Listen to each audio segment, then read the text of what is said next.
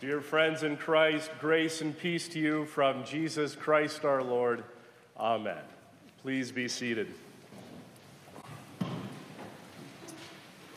So, this morning we heard two absolutely beautiful readings, both of which are familiar to most, if not all of us.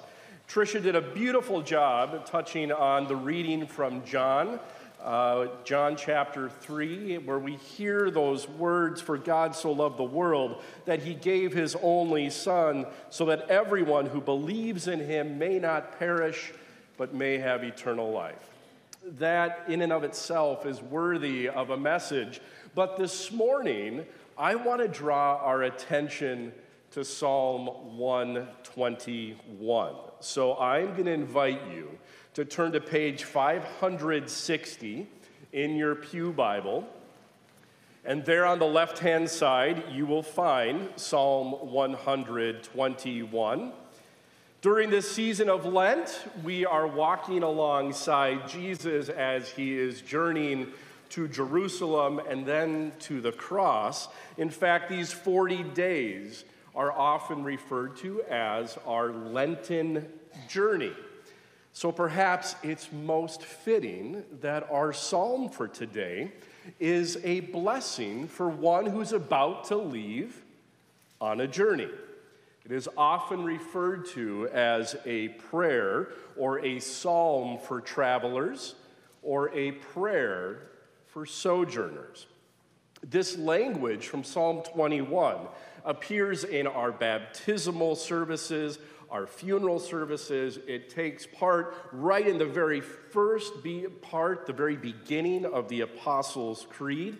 It is a beautiful profession of faith and trust in God and God's love and protection, which is why Psalm 121 is so often recited when people of faith reach for words of comfort and assurance in the midst of the challenges, difficulties, and struggles of life's journey from beginning to end and everything in between. So this morning, I invite you to enter into this psalm by putting yourself in the very shoes of the writer, by putting yourself in the writer's place. And so Psalm 121 begins with a genuine cry for help. And it actually sheds a little light on all the anxieties and the powerlessness, those feelings of powerlessness that the writer is facing and feeling. And so the writer asks, Where should I look for help? Now, it's important to note that traveling in the ancient world was difficult at best, and it was often dangerous. Lack of water, especially during the sun heat packed days of summer, would have been a constant concern. And those hills, those hills, could have been a source of great fear and anxiety because of the danger of robbers and bandits that may have been hiding out there. And of course, darkness, right? We all know what darkness can do, especially what our minds can do when we find ourselves in the midst of darkness and the fear and trembling that can set in. Where should I look for help? It's a really good question. It's a really good question whether you are traveling from one geographical point to the next, facing challenges along the way, or if you are traveling in the ups and the downs of life, of this life we live and lead in this world. And though in the big picture, our life is only temporary here on earth. We all know that. The truth is, the journey on earth at times can be downright challenging, can be difficult when we face all sorts of challenges along the way In other words, life is not always smooth sailing. And I know many of us can attest to that. We know that the waters can be rough when we face illness or depression, anxiety or addiction, uncertainty or doubt, loss and grief, loneliness, sin, war, evil. You get the idea. Life is not always smooth sailing. So, in the midst of life and all that is to come, with the good and the bad, I can't think of a more appropriate question to ask than where should my help come from? Where should I look for help? Now, the question is answered in the next verse. It's a beautiful confession of faith. Where is my help to come? My help comes from the Lord, the maker of heaven and earth. Where do you find yourself today in your journey? Where do you find yourself today in your journey of life? What is in your heart? What is on your mind? What are your fears? What are your struggles? What are you wrestling with today?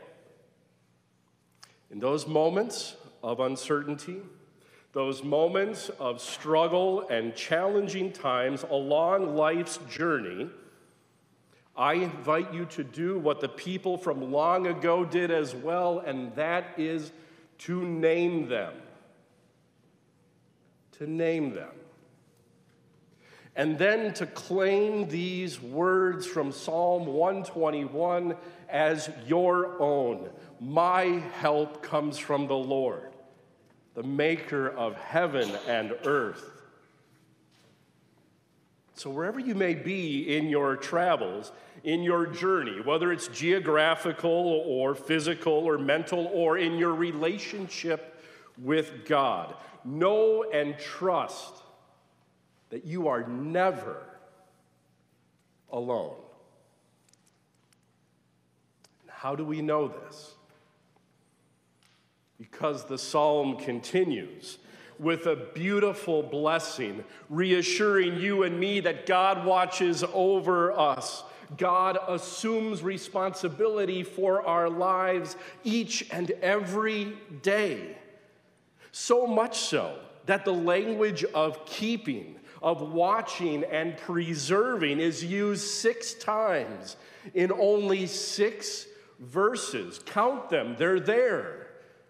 The language of God keeping and watching and preserving us along the way. And notice, notice who's doing the action here. It's not you, it's not me, it's God.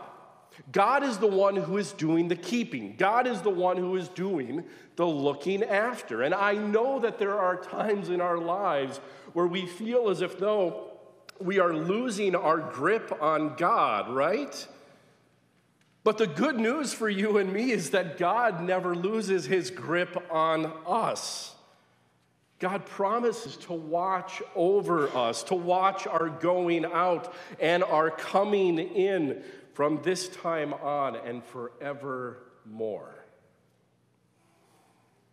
So, in the coming days, whether you are driving from one place to the next, whether you're sitting at home or out for a walk, wherever you may be, I want you to ask yourself this and to think about this question What does it mean for God to be my keeper? What does it mean for God to be my keeper? What does that look like? How does that feel? Now, let me be clear. Psalm 121, this prayer, does not promise that life's journey will be easy. We see that in the very words from the writer. It does not promise that life's journey will be easy, that life will be without illness, without pain and suffering. and that doubt and loneliness and grief and sadness and suffering will be absent. But what it does promise to you and me today is that those things will never have the last and final word. To paraphrase the Apostle Paul, there is nothing that can separate us from the love of God in Christ Jesus our Lord, and that, that is good news. Now, truth be told, Psalm 121 is personally one of my favorite Psalms because it reveals the very essence of who God is. It reveals to us the full promise of God's love and grace and presence in our lives, and for God's personal concern and compassion for each and every one of us. And here's the thing it's that same promise that surrounded Jesus as he journeyed to Jerusalem and to the cross. God was there too. God was keeping his life. And so during our Lenten journey, as we follow Jesus on the way, the good news for you and me this day and in all the days to come is that God is our keeper too. From this time on and forevermore. Let it be so. And let us pray. Gracious God, our beginning and our end, you kept Abraham and Sarah in safety throughout the days of their pilgrimage. You led the children of Israel through the midst of the sea. And by a star, you led the Magi to the infant Jesus.